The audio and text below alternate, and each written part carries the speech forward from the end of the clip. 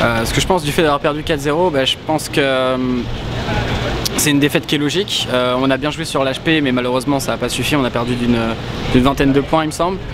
ensuite, voilà, ça s'est joué à peut-être une rotation, ça s'est joué à vraiment pas grand chose. Ensuite, sur les autres cartes, on s'est fait complètement outplay, je pense quand même. Sur le Plink, euh, c'était, euh, ils nous ont spoon trap, etc. Donc ils ont pris pas mal de points d'avance. Ils ont fini sur 18-6, je crois. Euh, donc ils ont vraiment mieux joué que nous. SND aussi, 6-2, on a pris un clutch de V4, etc. Des grosses erreurs qu'on n'est pas censé faire. Et sur la CTF, on avait choisi de, jouer, on va dire, la compo qu'on fait habituellement avec Maul en défense et Vortex Xeroxemo en attaque.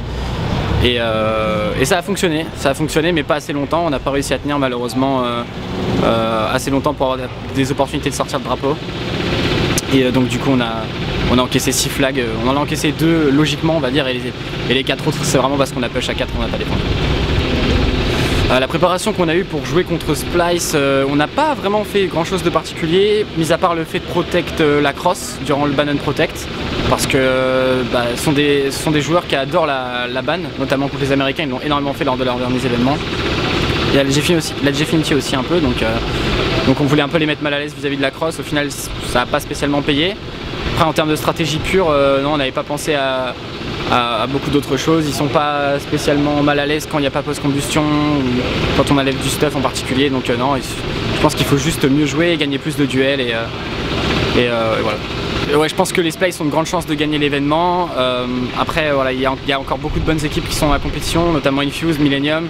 Il va falloir se méfier, mais je pense qu'à l'heure actuelle, Space sont vraiment un cran au-dessus, du moins j'ai l'impression. Pour les avoir joués, euh, c'est vraiment une équipe où voilà, ils ne vous laissent pas respirer ils font très très peu d'erreurs de placement et par-dessus ça ils, font beaucoup de double kill, triple kill, etc. Donc ils ont un contrôle map fantastique et, euh, c'est jamais facile de jouer contre des équipes comme ça et, euh, je pense que c'est pas pour rien qu'ils ont gagné à Gfinity et qu'ils ont fait un des meilleurs résultats européens à la MLG.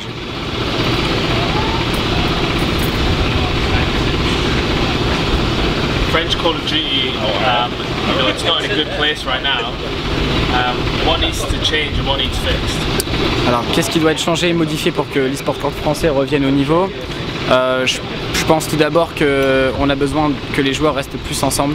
Euh, quand on a du mal à gagner contre justement des top teams euh, comme ça anglaises, etc., la plupart du temps ce sont des joueurs qui restent super longtemps ensemble, notamment Splice, on les a vus, ils ont fait déjà un bout de la saison ensemble, mais en S1 il y avait déjà deux joueurs qui étaient dans le roster, donc c'est pas une compo totalement neuve non plus, ils se connaissent très bien, ils jouent beaucoup ensemble en dehors des, en dehors des heures de scrim et mais simplement, je pense que notre science du jeu en France est mauvaise à l'heure actuelle. On pense le jeu de, de, la mauvaise façon.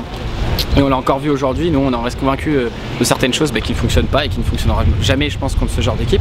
Et euh, c'est à nous de changer aussi un peu les mentalités et, de modifier un peu les styles de jeu pour, parvenir, euh, je pense, à revenir au niveau auquel a appartenu l'e-sport français et, surtout sur Code dans le passé.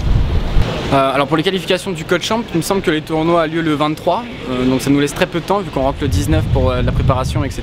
Mais oui, bien sûr, il faut qu'on reste tous les quatre et, et, qu'on continue à s'entraîner tout simplement. Il y a encore des échéances et la saison n'est pas terminée et il faut continuer à faut continuer ce qu'on a commencé depuis le début de saison. On n'a jamais rien lâché et c'est en partie pour ça qu'on a réussi à se qualifier à cet événement. Il faut juste qu'on arrive à continuer dans cette voie-là et que et qu'on arrive à, se qualifier pour le Code Champ et pour essayer de faire un bon résultat là-bas. Alors est-ce que je vais continuer ma carrière sur Infinite Warfare? À l'heure actuelle j'en suis pas totalement sûr, c'est en, cours de, en cours de réflexion, il y a pas mal de paramètres qui rentrent en jeu. Euh, j'aimerais bien tout d'abord finir cette saison là sur une bonne note euh, avec euh, le code XP, je trouve ça important. Et, voilà, après on verra bien on verra bien comment, comment se passent les choses, mais, mais si je devais arrêter complètement, je pense ce que ce serait pour reprendre mes études. Alors si je pense pouvoir devenir un jour caster ou analyste, euh, oui je pense que c'est quelque chose qui me plairait vraiment bien. Euh, après euh, ça demande pas mal de travail parce que si je pense que si j'aimerais bien le faire ce serait en anglais et pas en français. Donc forcément ça limiterait, enfin si je le faisais en français ça limiterait pas mal le nombre d'événements. Et en anglais j'ai besoin de faire encore beaucoup de progrès je pense sur, des petites choses. Et, et ouais peut-être qu'un jour en tout cas je le ferai, c'est quelque chose qui me plairait beaucoup en tout cas. Donc je pense que dans les prochains, on va dire dans les prochaines générations de joueurs en France, il y a du potentiel il y a vraiment un bon potentiel. Euh, il y a une génération qui suit derrière, euh, qui sont pour l'instant, euh, qui font les LAN amateurs, qui sont vraiment pas mauvais. On a l'équipe des Sunrise, donc Requiem, l'équipe des Signes aussi avec Deliver et, son équipe. il y a l'équipe des Millennium Hope aussi, mais pour l'instant ils sont pas en full français, donc il y a Carbon et Zik, mais il y a vraiment une génération qui suit derrière qui a un gros potentiel, je pense, pour pouvoir suivre au niveau européen. Et il faudra juste qu'ils voilà, qu répètent pas les erreurs que nous on a pu commettre et qui nous ont coûté beaucoup de temps. en tout cas, ils partent sur de bonnes bases. Après, ils ont juste à progresser et, à réaliser l'ampleur de, l'e-sport code et, de prendre ça à la bonne mesure. Euh, bah voilà, je voudrais euh, faire un petit coucou à, toute la France parce qu'aujourd'hui on réalise cette interview euh, le 14 juillet, donc c'est la, fête nationale. donc voilà, petit coucou à la France, petit coucou à, gros coucou à Suprématie, de mes coéquipiers, ma copine, mes parents, enfin tous les gens qui me supportent au quotidien et voilà, merci beaucoup.